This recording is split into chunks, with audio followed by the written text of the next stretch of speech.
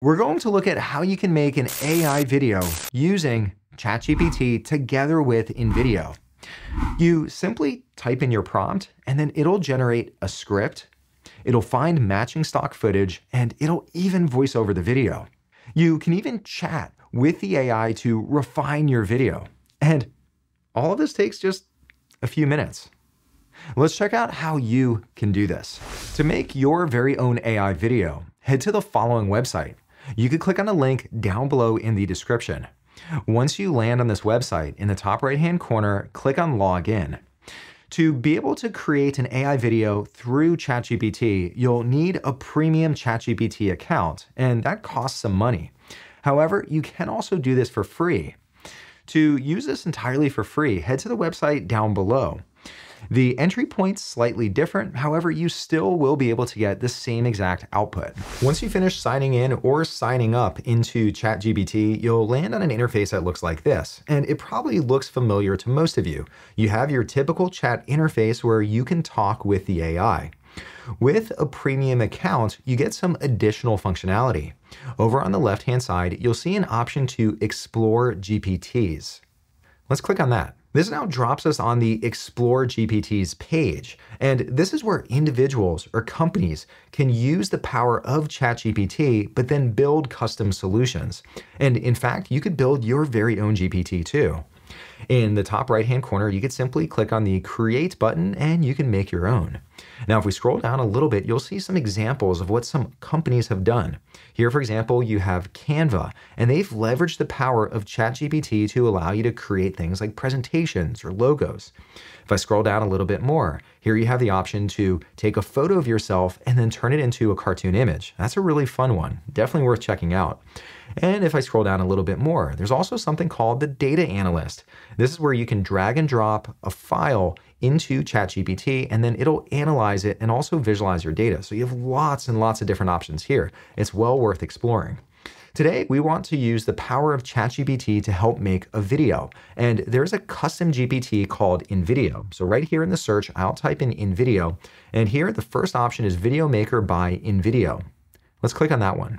I partnered with InVideo to show you how this works. And at first glance, this looks just like the typical ChatGPT prompt. However, this is now paired together with InVideo, and anything that you type into the prompt will help generate an AI video. Right up above, you see some sample prompts that'll help you get started, and that way you can interface with the AI to get your perfect video. Or down below, you can simply type in exactly what you want. Now, I really think it'd be nice to have a 30 second video that shows people how to make chocolate chip cookies. This could be a good addition to the kevincookiecompany.com website.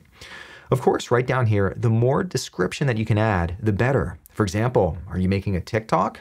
If so, that'll help the AI know that you want a vertical video, or maybe you want a certain voice narrating your video. You can describe all that right down here. But for now, I think this is good enough to get started with. So over on the right-hand side, I'll click on this button to send the message to the AI. Right over here, ChatGPT needs permission to talk to InVideo. I'll click on confirm. And here it looks like it's now generated my video. So right down below, I'll click on this to see what this video looks like. This now drops us into InVideo. And if you don't yet have an account, first you'll need to set one up, but that's entirely free to do. Once you finish signing in, you'll land on this page and you'll see a preview of your video. Right down in the bottom left-hand corner, let's take a look at how it turned out. A world where chocolate chip cookies are the star. Start with half a cup of softened butter, then mix in a quarter cup each of white and brown sugar. Crack open one egg blend in a teaspoon of vanilla extract. Now ready for the dry ingredients? One and a half cups of flour, half a teaspoon of baking soda, a pinch of salt. Stir until it forms a soft dough, then fold in a cup full of chocolate chips. Bake in a preheated oven at 375 degrees for 10 minutes. Crispy edges, soft centers, and a flavor that's out of this world. Remember, the secret is in the sugar blend and the baking time. Happy baking. Overall, that looked pretty decent as a first draft. Of course, there are a few tweaks that I would need to make. For example, there was one shot in the video of cookies that were not chocolate chip cookies. Now, if for whatever reason you're completely unhappy with what the AI generated, down in the bottom left hand corner, you could just completely regenerate. Don't worry, you won't hurt the AI's feelings. Up on top, you can also click on this plus icon, and here you can modify different settings. Let's say you want to adjust the audience, look and feel, or the platform. That'll also change the way the video turned out.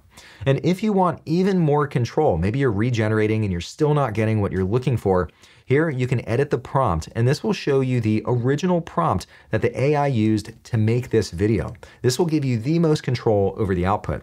Now, I didn't provide too much, so I'm actually pretty pleased with what the output looks like. Of course, I do want to make some tweaks.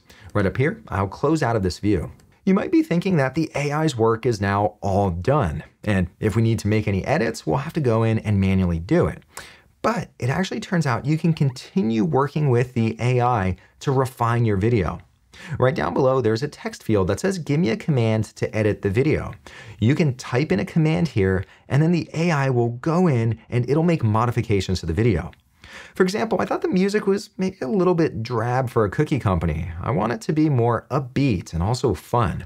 So over here, I could type in a command, make the music happy and fun. And then over here, I'll click on generate.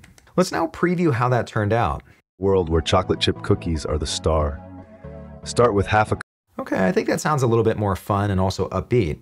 But I don't know if I like the guy's voice. So right down here, let's try changing the voice to maybe an energetic female. And let's click on generate again. Let's now preview how this turned out. Welcome to a world where chocolate chip cookies are the star. I like that voice so much better. If for whatever reason you're unhappy with the change that the AI made, right over here you can undo the change and go back to what you had, or you could also redo the change. So you have that option. Now there was that one shot here in the video of these cookies, and again, those are not chocolate chip cookies. I could ask the AI to try to change that, or what's nice too is I also have manual control. Right over here, let's click on this edit button. This now drops us into the edit screen. And right up on top, I'm currently on the edit media view. Right up on top, I can see all the different media that makes up this video project. And when I click on any of the media, you'll also see the associated text highlighted down below. Here's this one clip that I want to swap out for maybe chocolate chips. Here, when I click on this, I see the associated text, and here it's referring to a cup full of chocolate chips. Right down below, I can upload my own media. Maybe I have some footage on my computer of chocolate chips, but unfortunately I don't. So over here, I can also search for stock footage. Right in here, let's type in chocolate chips and let's see what it comes back with. I can now see all the different stock media down below. Here, there are some photos of chocolate chips. Here, I also have pictures of chocolate chip cookies. And there are so many different options to look through. But when I come down right to about here, I see a video of someone folding in chocolate chips into a cookie. I think that's exactly what I need. So I'll click on that. And if I go all the way up to the top, you'll see that it's now inserted it on top of the previous image. It looks like it even has a mix of white chocolate chips and also dark chocolate chips. I like that touch. Right down below, I'll click on apply changes. Now, if we go back to that 25 second mark in the video and I play it, then fold in a cup full of chocolate chips. You'll see that it's now updated the video. That looks so much better. Along with swapping out the media, you also have full control over the script. Let's once again click on the edit icon. And previously we looked at the edit media screen, but over here to the right, you can also edit the script. When I click on that, you can see all of the text that makes up your video. So you could go through and you can modify any of this text. You can also include additional text.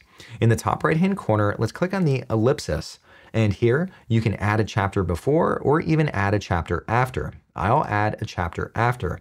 When I scroll all the way to the bottom here, I now have an additional chapter and I could type in some text. Like to learn even more, be sure to visit our website.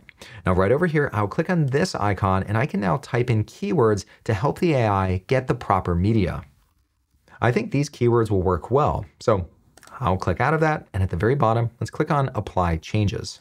Right up on top in the preview window, I can now see that it added an additional chapter. So let me go right to the beginning of the chapter and let's see what that addition looks like. To learn even more delicious recipes like this one, be sure to visit us at thekevincookiecompany.com.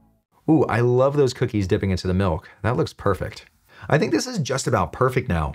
Over on the right hand side, let's click on the export icon and then click on export video. This now drops us on the export screen. Down at the very bottom, you can choose your export resolution or the quality of the video. With a free account, you can export your video, but it'll include watermarks on top of the stock footage as well as InVideo AI branding. To license the stock footage and to use it commercially, or maybe you just don't want to include any watermarks, over here you can choose this to remove them. However, to do that, you will have to upgrade to a paid plan and they start at $20 per month. For now, I'll stick with the stock watermarks and also go with the branding. Down below, I'll click on continue. And check that out, my video project is now all done. And again, to remove the watermark and also this branding, you can go with a premium account and that'll remove all of it. Right down here, you could download your video or you could share it with others. Now, one thing to note, you can also download an InVideo iOS app. That way you could continue working on your video on the go. And it has the exact same interface. So if you know how to use it on the web now, you'll also be able to use it on your phone. All right, well, all you need now is a well-written prompt and you can pull together a beautiful looking video. To watch more videos like this one, please consider subscribing. And as always, I hope to see you in the next video.